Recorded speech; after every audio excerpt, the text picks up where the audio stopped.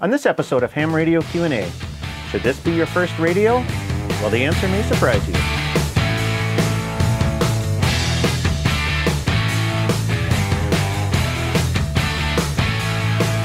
Welcome to another episode of Ham Radio Q&A, the show where we answer your questions. I'm Michael, KB9VBR.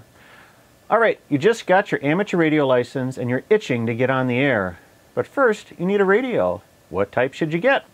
Well, as a volunteer examiner, I've been asked this question scores of times. It's a common question for the new ham and one that doesn't have an easy answer. But hopefully in this video, we'll shed some light on what's available to help you make a good purchase decision. As a new technician radio license holder, you will most likely set your eyes on the VHF and UHF bands.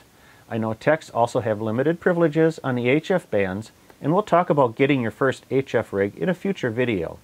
Today, let's concentrate on VHF and UHF communications. And in this realm, your choices boil down to two formats, the handheld radio and the mobile base station. So, should you first get a handheld or a mobile radio? Well, the advantages of handhelds are, of course, portability, price, and convenience. Portability in that you can take your handheld just about anywhere, price in that they are affordable, with some selling as low as $30, and of course convenience. Everything is in one package, radio, power supply, and antenna. But what makes handhelds so convenient is also their biggest downside. You're limited in transmit power, batteries quickly discharge, and rubber duck antennas are lackluster. Mobile-based radios, on the other hand, offer high power, longer duty cycles, and a loud audio output. The downside is that they aren't very portable, and you need, a, need to add an antenna and power supply for operation. But the rigs are well suited for mobile use in your vehicle and longer radio style conversations at home. So it may be no easy choice between, between the two. Maybe the answer is, what do you want to get out of amateur radio? Are you on the road a lot and need a mobile? Are you looking to get involved with emergency communications?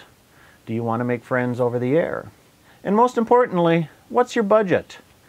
These questions will lead you to what, into what radio choices are best for starting out. But budget is the biggest consideration you may have, as you may not have a lot of money to spend, or in getting started with the hobby, you may not want to make a big initial investment only to later regret it. So in that spirit, I'm going to lay out a roadmap to building your amateur radio station. Prices are approximate and nothing I say is an endorsement of a particular brand. This is just a guideline to help you build your own station. First, with the bare bones package, for about $35, you can get a Chinese handheld radio, you know, like the Baofeng, and a programming cable. This will get you on the air with local repeaters, and you'll have something to use at club functions and public service activities. Add another 20 to that for an aftermarket antenna and maybe a speaker mic. But handhelds are difficult to use in your car. And if you want to go mobile, you'll need a mobile rig. So to get a basic mobile station, you're going to have to add about $180 for a basic 2 meter rig from Yaesu, ICOM, or Kenwood, and a mag mount whip antenna. Now with a rig in your car and a handheld for the house, you should be all set. Now that you'll find using the handheld in the house gives you may give you spotty coverage. You know, you can't hit all the repeaters indoor, and you may have that you may have worked outside. Or you'd like to chat on simplex with other hams. So let's add an external antenna, feed line, and an adapter for your handheld. Well, that package will set you back about 75 to $100, depending on how much feed line you need. This setup will work nice. You'll hit all the area repeaters.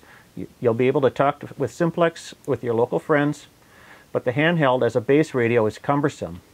The battery doesn't last for long, and they tend to overheat if you use them for long periods of time. So you take your mobile, so if you, but you can take your mobile out of the car and use it in the house. But switching radios like that isn't a long-term solution.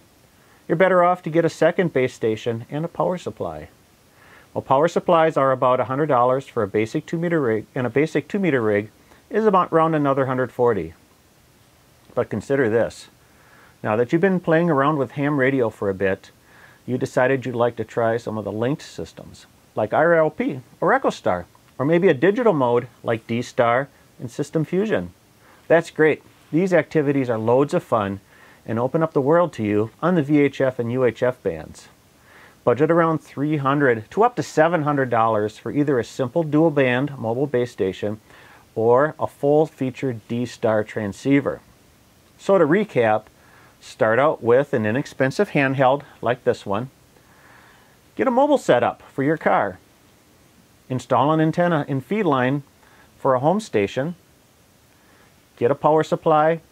Add another rig, maybe a dual band one like the one we see here.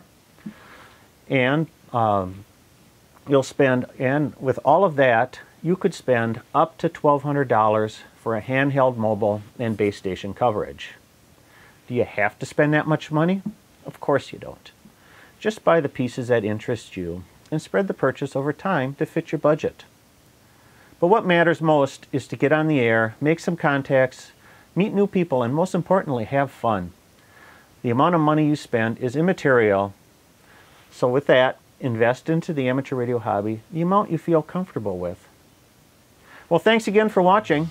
Be sure to subscribe to my channel to get notified when new videos are released and follow me on Facebook.